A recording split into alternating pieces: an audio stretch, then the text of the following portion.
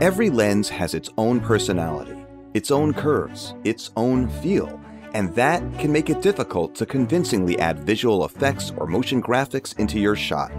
Introducing Red Giant Lens Distortion, a tool that makes matching the distortion of your lens incredibly easy so that you can believably composite elements into your shot. Even if you don't know what kind of lens, wide angle, GoPro, fisheye, or whatever, lens distortion can figure it out in an instant. As you identify curved lines that should be straight, lens distortion quickly solves the lens. Just a few clicks, and the job is done. Lens distortion is also a powerful tool for getting better 3D and 2D tracking. By first undistorting your footage, you'll get a much more accurate tracking result, which means your composited elements won't slip and slide.